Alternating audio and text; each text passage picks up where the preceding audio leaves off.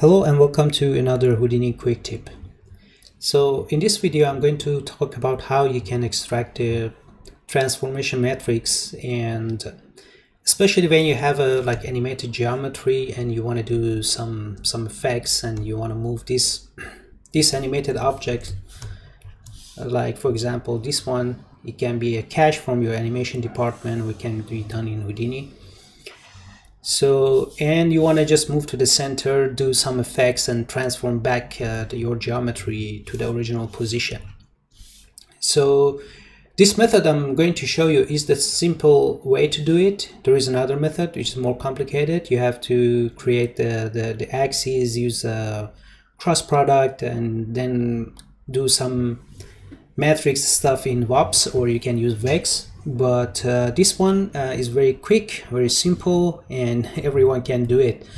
So let me just uh, this uh, talk about the main nodes which is very important. One is the match size and another one is the extract transform so I'm going to create the scene from scratch so to show you how it works.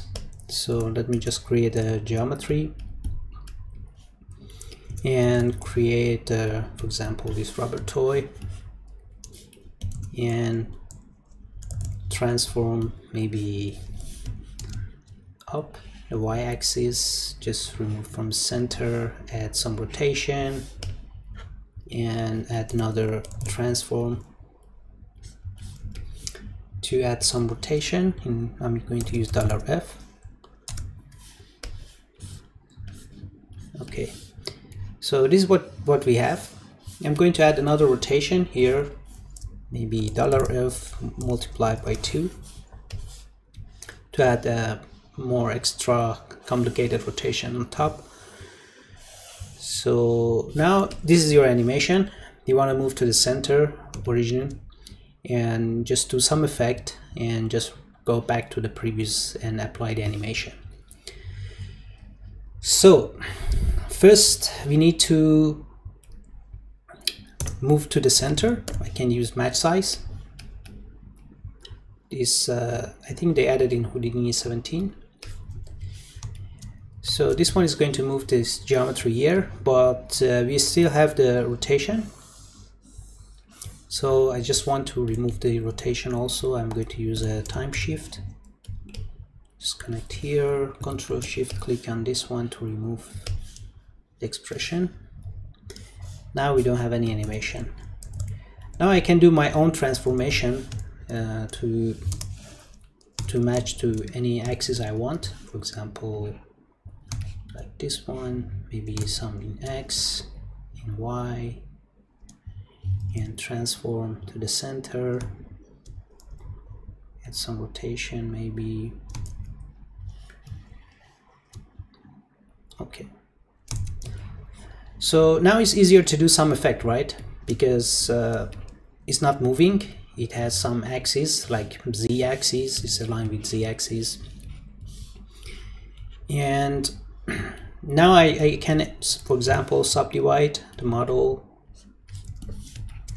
to add more resolution and add the mountain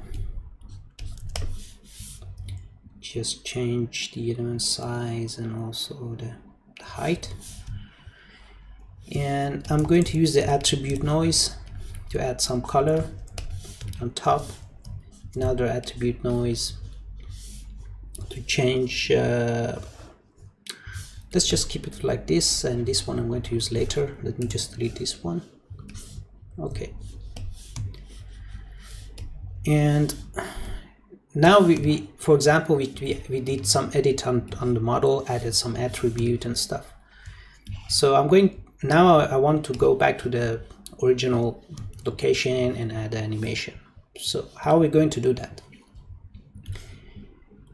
Okay we have an another node extract transform as I already talked about uh, the right put, uh, right input is for animated geometry and the left input is uh, before any edit you did. So you can connect it to this transform when you where you align your model uh, to the axis you want. And if I select this model what we have is just uh, one point. And this point as you can see it has some orient, orient attribute and some pivot point this pivot, pivot point is the location of this point. So if I sorry it's, uh, it's not animated because it's used the this orient and this position. That one is the center. Okay. So now I can use a copy to point.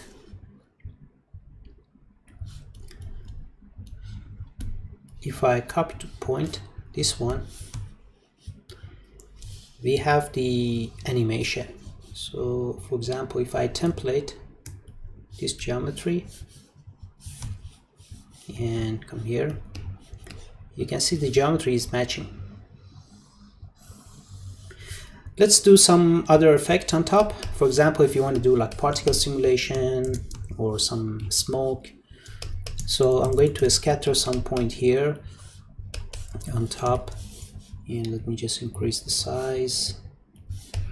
And also add a attribute noise again to add some CD and maybe connect this one here. And another one I'm going to change also the position to add some animation on top. Let's change the element size and also the amplitude. So if I scrub the timeline we can imagine this one is a real particle simulation. And now I can merge with this one or I can use another copy to point. So I'm going to have these two matched together. And let me just for this position use the zero centered. So as you can see now we have the particles also on top okay another example if you want to add some smoke simulation for example I can use now the like pyro simulation. It's very fast to set up now so let me just move this one here. Maybe you want to do some fire from our small dragon. So just I want to change some setting here.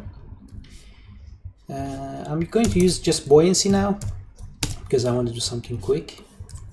So we get some smoke moving into Z direction.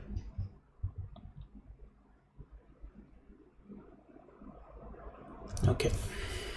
Now you can use another copy to point. Just copy this one to that one and merge also these two together let me just change the background to maybe light. You can see the smoke effect here. As you can see here we have a perfect match with the original animation we, we had before. So this is our original animation. Let me just move here. This original. Yeah is this the template one and this one with the mountain subdivided we added some attribute like CD a particle and a smoke. So it's very easy to control and easy to set up. And uh, another example let me just show you that that one is also handy. If I move this geometry here the reason we use extract transform here in this previous one is because we freeze the animation here right? But imagine you want to just move your geometry to center.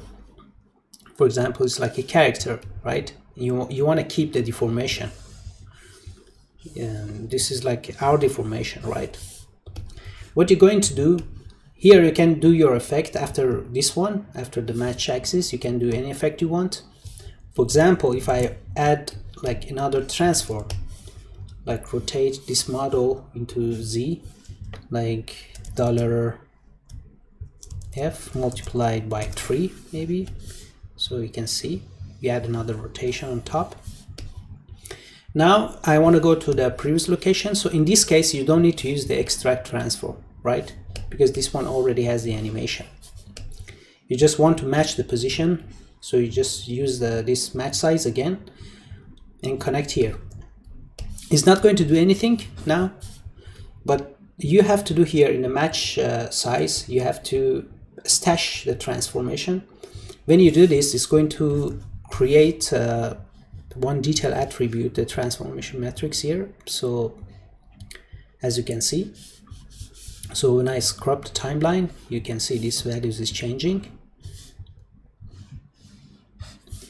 and we added another transform and we again use the match size but this time we just need to use the restore transform. If I do that and template my this transform as you can see we added another rotation on top very easily. And you imagine if you want to add this one and this rotation and do some effect based on this rotation or any movement or any deformation you want right? And you can if you want to go to match 100% with this one you just wanted to use this transform for some effect right? For some obscure reason and which can happen in production. You just need to output this attribute if you check this output attribute is going to create another x form and post multiply it. And now if I match axis it's going to match again 100% uh, with the original animation you already had from the animation department. So as you can see it's going to match. Even we have the transform here. So even if I scale the model here if I transform it's going to keep this position. Now if I remove this one we have the rotation and also I can some add some offset if I want. Or I can just scale the model right? This is also very very handy. So yeah that's uh, that's it. Just uh, wanted to share this this technique it's very handy and very quick to do uh, I hope you enjoyed this video and thanks for watching